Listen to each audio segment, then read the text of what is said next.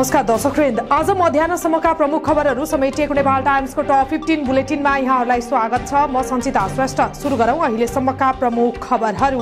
रातो मच्छेन्द्रनाथको भोटो देखाउने भोटो जात्राको अवसरमा आज काठमाडौँ उपत्यकामा सार्वजनिक विदा। वर्षा र सहकालका देवता मानिने रातो मच्छेन्द्रनाथ र मीननाथको दर्शन गर्न ललितपुरको जावडा खेलमा भक्तजनको घुइँचो। तिलगङ्गा नेत्र विश्वविद्यालय विधेयकलाई दफावार छलफलका लागि संसदीय समितिमा पठाउने सरकारको तयारी। भोलि बस्ने राष्ट्रसभा बैठकमा शिक्षा मन्त्री विद्या भट्टराईले विधेयकलाई दफावार छलफलका लागि प्रस्ताव प्रस्तुत गर्ने कार्यसूची। सुदूरपश्चिम प्रदेशमा काङ्ग्रेसबाट कमल बहादुर शाह मुख्यमन्त्री बन्ने। यसअघि समेत मुख्यमन्त्री बनिसकेका संसदीय दलका नेता समेत रहेका शाहलाई नै मुख्यमन्त्री बनाउने काङ्ग्रेसको निर्णयपछि उनलाई मुख्यमन्त्री बनाउन काङ्ग्रेस र एमालेको दावी पेश। नेपालमा सञ्चालित भारतीय टेलिभिजन च्यानलहरूको प्रसारण बन्द। करिब दुई वर्षदेखि विदेशी मुद्राको सिफारिस नदिएको भन्दै भारतीय टेलिभिजन नेटवर्कहरू कलर्स स्टार जी र सोनी लगायतका नेटवर्कले आफ्नो च्यानलको प्रसारण बिहिबारदेखि रोकेको सञ्चार तथा सूचना प्रविधि मन्त्रालयको भनाई।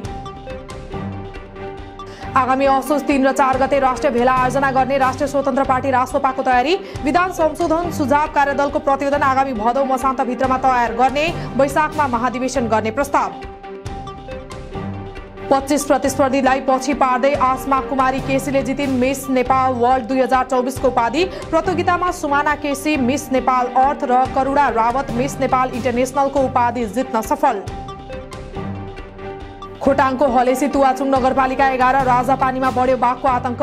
जंगलबाट गाउँ पसेको बाघले खोरका खसी बाख्रा गोठमा बाँधिएका बाछा पाडा तथा कुकुर मार्न थालेपछि स्थानीय चिन्तित। चितवनमा मर्निङ वाकमा निस्किएका माथि बाघको आक्रमण।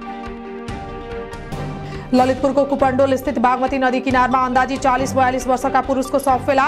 घुप्नु परेको अवस्थामा भेटिएको शवको पहिचान खुलाउने प्रयास र घटनाबारेमा थप अनुसन्धान जारी रहेको ललितपुर प्रहरीको भनाई। बार्दी हिमाल बेस क्याम्प नजिकै निगालो घारीमा मानव अवशेष सहित ट्राउजर र एक थान आइफोन फेला। उक्त मानव अवशेष गत डिसेम्बर तिसमा हराएका स्विडिस नागरिक माइकल लिउ ब्लोमवर्गको हुन सक्ने आशंका। ताप्लेजुङ जिल्ला कारागारमा क्षमताभन्दा बढी एक सय तेइस कैदी र बाइस थुनुवा गरी एक सय पैँतालिस कैदीबन्दीलाई राखिएको फेला। करिब पच्चिसजनाको क्षमता भएको कारागारमा एक सय पैँतालिस कैदीबन्दीलाई राखिएको जिल्ला कारागार कार्यालयको तथ्याङ्क। हाल देशैभर मनसुनी वायुको प्रभाव रहेकाले गण्डकी कर्णाली र सुदूरपश्चिम प्रदेशका एक दुई स्थानमा हल्का वर्षा भइरहेको मौसमविदको भनाई। राति भने कोशी र लुम्बिनी प्रदेशका एक दुई स्थानमा भारी वर्षाको पनि सम्भावना। छापावाल सुनको भाव आज तोलामा दुई सय रुपियाँले घटेर प्रति तोला एक लाख उना पचास हजार सात सय रुपियाँ कायम। यस्तै आज चाँदीको भाव पनि तोलामा दस रुपियाँले घटेर प्रति तोला सत्र सय पचासी रुपियाँ निर्धारण। काठमाडौँमा जारी काभा महिला भलिबल लिगमा आज बेलुका नेपालले इरानसँग खेल्दै भारतमाथि जित निकालेको नेपालले उच्च मनोबलका साथ इरानलाई सोझो वा दिन दुईको सेटमा पराजित गरेमा शीर्ष स्थानमा पुग्ने। मध्यपूर्वमा बढिरहेको तनावका बीच लेबनानमा रहेका आफ्ना नागरिकलाई तत्काल देश छाड्न अमेरिकाको आग्रह। इरानले इजरायलमा कुनै पनि बेला आक्रमण गर्न सक्ने भन्दै अमेरिकाद्वारा मध्यपूर्वमा आफ्ना युद्ध विमान तैनात।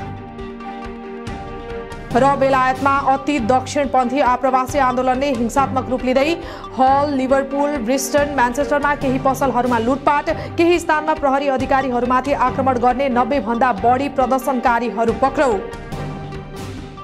आज मध्याहसम्मका टप फिफ्टिन समाचार अहिलेलाई यति नै। दिनभरका टप फिफ्टी समाचारका साथ हामी पुनः उपस्थित हुने नै छौँ। देश विदेशका ताजा र विशेषात्मक समाचार हेर्नका लागि नेपाल टाइम्सको अनलाइन पोर्टल फेसबुक तथा युट्युब च्यानल लाइक र सब्सक्राइब गरिदिनु भएकोमा धेरै धेरै धन्यवाद। नेपाल टाइम्स हेर्दै गर्नुहोला नमस्कार।